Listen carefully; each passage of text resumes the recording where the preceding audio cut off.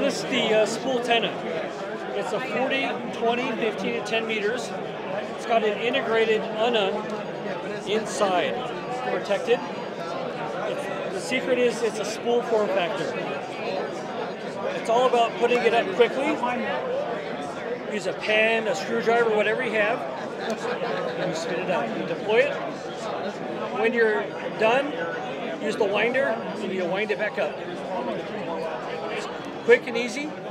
It's about 12 ounces. It is pre-tuned, no tuning required. It'll do 100 watts. Uh, what made you What made you decide to create this? How did you come up with this idea? Well, the whole idea is getting on the air quickly without tangles. So really looking at other designs that I've been using, and I always end up with a lot of tangles. So this one is on a larger radius. It eliminates the kink in the wire, and it eliminates the twist in the wire. So you get on the air quickly without tangles. That was the whole inspiration. Get on the air quickly.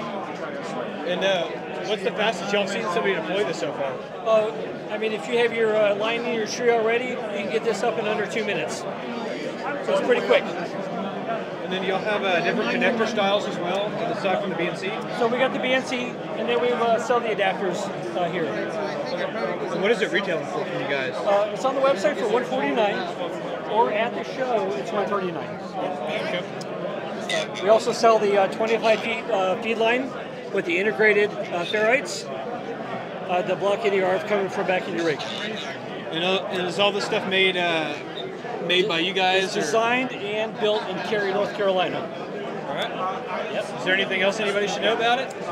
It's quick and easy. That's it. All right, man. I appreciate it. What was your name? I'm, I'm Rob, KO4HUI. All right. Awesome, man. Thank you very much. Thank you. Appreciate it, man.